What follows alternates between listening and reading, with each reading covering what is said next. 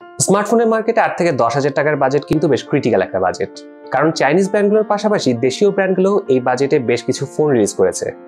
Redmi নাইনে রেডমির বাংলাদেশে তৈরি প্রথম স্মার্টফোন আর এই ফোনটিও কিন্তু এই বাজেট সেগমেন্টের মধ্যেই পড়ে। আজকের ভিডিওতে রেডমি নাইনের বিভিন্ন কি সেলিং পয়েন্ট নিয়ে কথা বলব। ফিরছি ইন্টার পরে।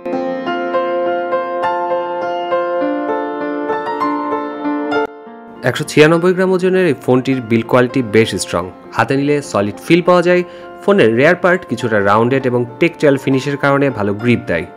ওয়েট ডিস্ট্রিবিউশন প্রপার মনে হয়েছে আমার কাছে। ফোনটির লেফট সাইডে সিম কার্ড আর মেমোরি কার্ড স্লট আছে। বটমে আছে speaker grill, micro USB port আর মাইক। রাইট সাইডে পাওয়ার বাটন এবং ভলিউম রকারের পজিশন ঠিকঠাক আছে।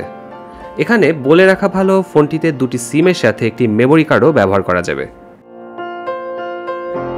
ফোনটিতে আইপিএস এলসিডি ডিসপ্লে ব্যবহার করা হয়েছে, display size six point five three inch যার পিক ব্রাইটনেস চারশো নিটস চারশো নিটস হলেও ডিরেক্ট সানলাইটে ডিসপ্লেটি একদম ভালো পারফর্ম করে না। কিন্তু ইনডোর কন্ডিশনে এই ডিসপ্লে নিয়ে কোনো কমপ্লেইন নেই।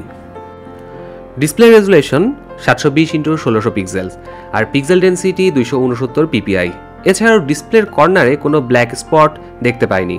ডিসপ্লেতে কোনো নেগেটিভিটি ইস্যু নেই। ইউটিউব কন্টেন্ট বা সোশ্যাল মিডিয়া ইউজের ক্ষেত্রে বেশ ভালো সাপোর্ট পাওয়া যায় ডিসপ্লেটি থেকে।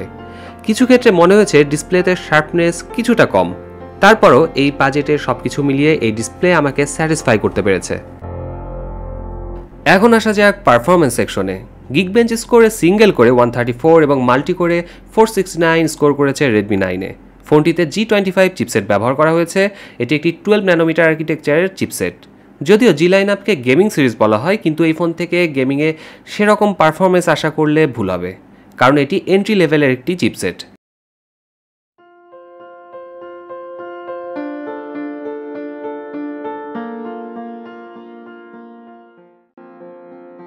মিউআই টুয়েলভ পাচ্ছেন আউট অফ দ্য বক্স ফোনটি রান করছে অ্যান্ড্রয়েড টেনে বাজারে বেশিরভাগ ফোনে অ্যান্ড্রয়েড টুয়েলভ চলে এসেছে। সেখানে অ্যান্ড্রয়েড টেন একটু ব্যাকডেটেড মনে হচ্ছে আমার কাছে।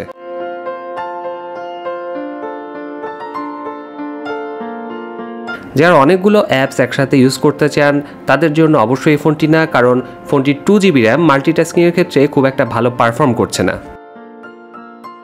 ফোনটিকে পাওয়ার আপ করেছে পাঁচ হাজার মিলিয়াম্পিয়ারের একটি ব্যাটারি। আমার মনে হয়েছে ব্যাটারি ব্যাকআপ এই ফোনটির সব থেকে বড় কি সেলিং পয়েন্ট সাতশো বিশ পিক্সেলের ডিসপ্লে আর এন্ট্রি লেভেল চিপসেট হওয়াতে ফোনটির ব্যাটারি কনজামশন বেশ কম। কমপক্ষে এক থেকে দেড় দিন ব্যাটারি ব্যাকআপ পাওয়া যায় ফোনটি থেকে। আর বক্সে থাকা দশ ওয়াটের চার্জারটি দিয়ে ফোন চার্জ করতে প্রায় তিন ঘণ্টার মতো সময় লেগে যায়।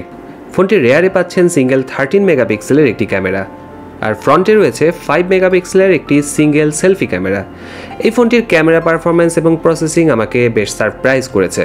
ক্যামেরার কালার রিপ্রোডাকশন এবং হোয়াইট ব্যালেন্সিং বেশ ভালো ছিল। ডায়নামিক রেঞ্জ একদম খারাপ, তা বলব না। লো লাইটে যদি স্টিরি হাতে শর্ট নেওয়া যায়, তাহলে বেশ ভালো ডিটেলস ধরে রাখে ক্যামেরাটি ফ্রন্ট ক্যামেরার ক্ষেত্রেও ভালো স্ক্রিন টোন ধরে রাখতে পারে। ওভারঅল এই বাজেট রেঞ্জে এই ক্যামেরা আমাকে একদম হতাশ করেনি। ফাইনালি এই ফোনটি নিয়ে আমার অপিনিয়ন হচ্ছে ক্যামেরা ডিসপ্লে ব্যাটারি ব্যাকআপ সব কিছু মিলিয়ে ফোনটিকে ভালো মিডিয়া কনজামশনের একটি ডিভাইস হিসেবে ধরা যেতে পারে। কিন্তু হ্যাভি ইউজারদের জন্য অবশ্যই এই ডিভাইসটি কেনা ঠিক হবে না। আর সেকেন্ডারি ডিভাইস হিসেবেও এই ফোনটি একটি ভালো অপশন হতে পারে।